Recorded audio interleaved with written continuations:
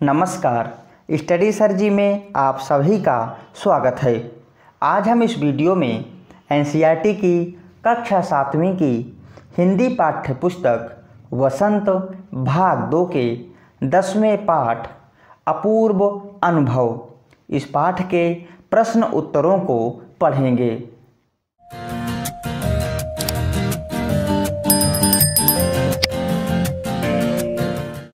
आइए वीडियो शुरू करते हैं।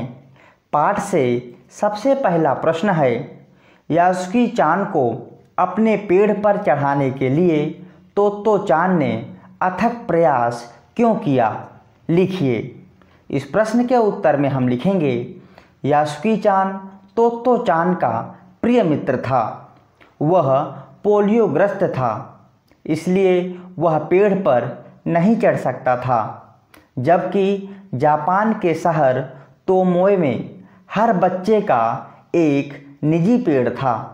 लेकिन यासुकी चाँद ने शारीरिक अपंगता के कारण किसी भी पेड़ को अपना नहीं बनाया था। तोतो चाँद की अपनी इच्छा थी कि वह यासुकी चाँद को अपने पेड़ पर आमंत्रित कर दुनिया की सारी चीज़ें दिखाए। इसलिए तोतो चाँद ने अथक प्रयास किया। पाठ से दूसरा प्रश्न है, दृढ़ निश्चय और अथक परिश्रम से सफलता पाने के बाद तो चाँद और याशकी चाँद को अपूर्व अनुभव मिला। इन दोनों के अपूर्व अनुभव कुछ अलग अलग थे। दोनों में क्या अंतर रहे, लिखिए। तो आइए इस प्रश्न के उत्तर को लिखते हैं। सबसे पहले तोतो चाँद का अनुभव देखते हैं। तोतो चाँद स्वयं तो रोज ही अपने निजी पेड़ पर चढ़ती थी और खुश होती थी, परंतु आज पोलियोग्रस्त अपने मित्र यासुकी चाँद को पेड़ की द्विशाखा तक पहुँचाने से उसे प्रसन्नता के साथ साथ अपूर्व आत्मसंतुष्टि भी प्राप्त हुई। यासुकी चाँद का अनुभव यासुकी चाँद को पेड़ पर चढ़कर अत्यधिक प्रसन्नता हुई। उसकी मन की इच्छा पूरी हो गई। उसने पेड़ पर चढ़कर दुनिया को निहारा। आइए अब पाठ से तीसरे प्रश्न को करते हैं। तीसरे प्रश्न में कहा गया है, पाठ से खोज कर देखिए, कब सूरज का ताप यासुकी चाँद और तोतो चाँद पर पड़ रहा था। वे दोनों पसीने से तरबतर हो रहे थे और कब बादल का एक टुकड़ा उन्हें छाया देकर कड़कती धूप से बचाने लगा था। आपके अनुसार इस प्रकार परिस्थिति के बदलने का कारण क्या हो सकता है?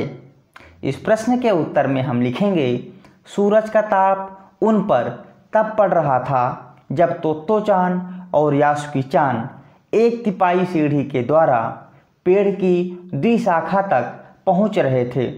दोनों के इस अथक संघर्ष के बीच बादल का एक टुकड़ा छाया कर उन्हें कड़कती हुई धूप से बचाने लगा।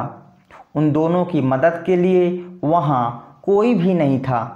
संभवतः इसलिए प्रकृति को उन दोनों पर दया आ गई और प्रकृति भी चाहती थी कि दोनों बच्चे अपने अथक प्रयास में सफल हों। पाठ का चौथा प्रश्न है, यासुकी चाँद के लिए पेड़ पर चढ़ने का यह अंतिम मौका था। इस अधूरे वाक्य को पूरा कीजिए और लिखिए, बताइए कि लेखिका ने ऐसा क्यों लिखा होगा। इस प्रश्न के उत्तर में हम लिख सकते हैं, लेखिका ने ऐसा इसलिए लिखा होगा क्योंकि एक तो यासुकी चाँद पोलियो से पीड़ित था और वह स्वयं पेड़ पर चढ़ने में असमर्थ था। दूसरा तोतो चाँद बहुत जोखिम उठाकर अपने माता पिता को बिना बताए उसे पेड़ पर चढ़ा पाई थी, परंतु शायद वह दोबारा ऐसा कभी नहीं कर पाए। आइए, अब हम पाठ से आगे के कुछ प्रश्नों को करते हैं, जिसमें पहला प्रश्न है तो तो चाँद ने अपनी योजना को बड़ों से इसलिए छिपा लिया कि उसमें जोखिम था। यासुकी चाँद के गिर जाने की संभावना थी। फिर भी उसने मन में यासुकी चाँद को पेड़ पर चढ़ाने की इच्छा थी। ऐसी दृढ़ इच्छाएँ बुद्धि और कठोर परिश्रम से अवश्य पूरी हो जाती है। आप किस तरह की सफलता के लिए तीव्र इच्छा और बुद्धि का उपयोग करके कठोर परिश्रम करना चाहते हैं। तो इस प्रश्न के उत्तर में हम लिखेंगे, हम कुछ ऐसे कार्यों के लिए कठिन परिश्रम और बुद्धि का प्रयोग करेंगे जिसमें हम किसी के चेहरे पर मुस्कुराहट ला सकते हैं। इसके अलावा बच्चे स्वयं भी इस प्रश्न का उत्तर लिख सकते हैं। आइए, अब हम अनुमान और कल्पना के प्रश्नों को करते हैं। जिसमें पहला प्रश्न है, अपनी माँ से झूठ बोलते समय तोतो चाँद की नज़रें नीचे क्यों थी? इस प्रश्न के उत्तर में हम लिखेंगे, झूठ बोलते समय तोतो चाँद में आत्मविश्वास नहीं था। कहीं उसका झूठ पकड़ा न जाए, इसलिए अपनी माँ से झूठ बोलते समय तोतो चाँद की नज़रें नीचे थी। अनुमान और कल्पना से दूसरा प्रश्न है यासुकी चाँद जैसे शारीरिक चुनौतियों से गुजरने वाले व्यक्तियों के लिए चढ़ने उतरने की सुविधाएँ हर जगह नहीं होती, लेकिन कुछ जगहों पर ऐसी सुविधाएँ दिखाई देती हैं। उन सुविधा वाली जगहों की सूची बनाइए। इस प्रश्न के उत्तर में हम लिखेंगे, अस्पतालों में, विद्यालयों में, सिनेमागृहों में सामुदायिक विकास केंद्रों में और सार्वजनिक भवनों एवं स्थानों पर इस प्रकार की सुविधा वाली जगह हमें देखने को मिलती है।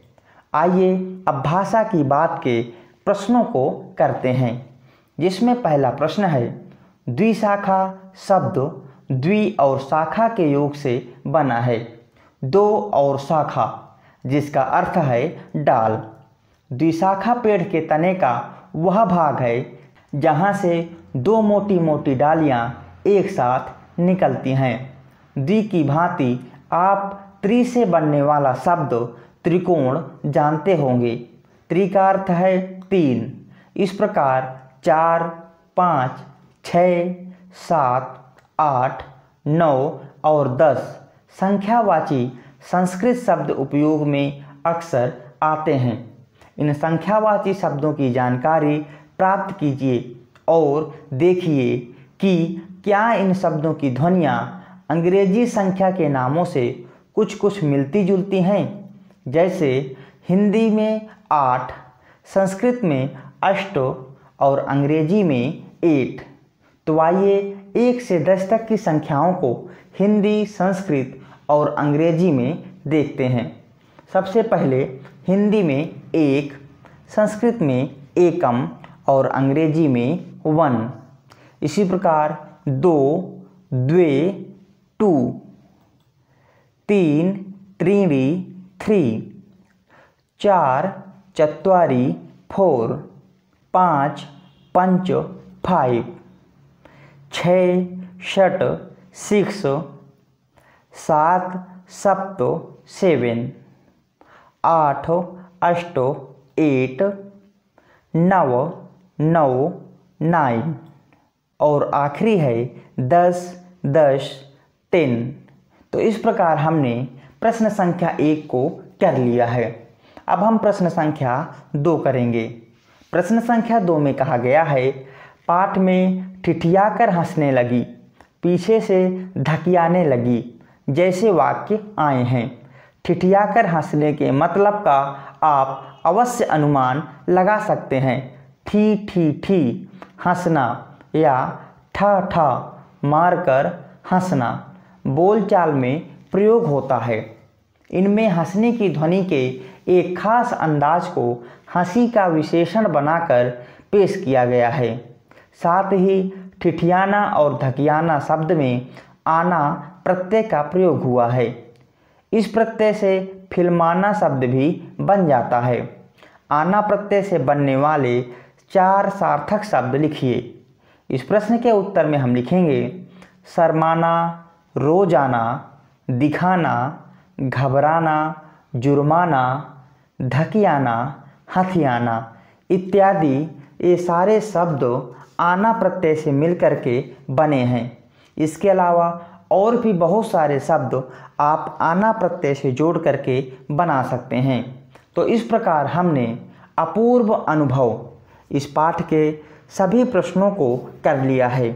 आशा करता हूँ यह वीडियो आप सभी के लिए मददगार साबित होगी। यदि अभी तक आपने हमारे चैनल को सब्सक्राइब नहीं किया है तो कृपया हमारे चैनल को सब्सक्राइब करें और हमारे चैनल के साथ बने रहें। वीडियो देखने के लिए बहुत बहुत धन्यवाद।